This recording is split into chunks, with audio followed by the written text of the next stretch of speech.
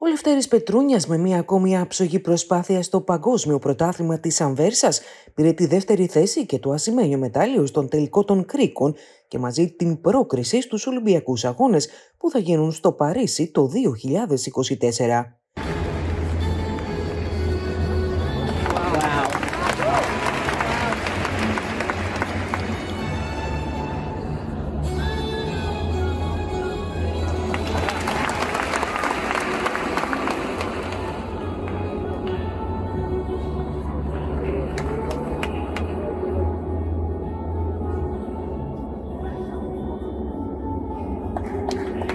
Πρώτος τερμάτισε ο Λιου Γιάνγκ από την Κίνα, ο οποίος βαθμολογήθηκε με 15.233 βαθμούς, την ώρα που ο Έλληνας πρωταθλητής είχε 15.066.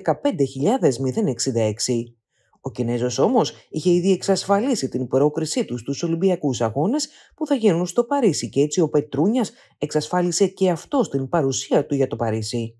Μια τεράστια επιτυχία για τον Μίδα των Κρίκων, ο οποίος βάζει πλώρη για ακόμη ένα βάθρο στο μεγαλύτερο αθλητικό γεγονός του πλανήτη το επόμενο καλοκαίρι.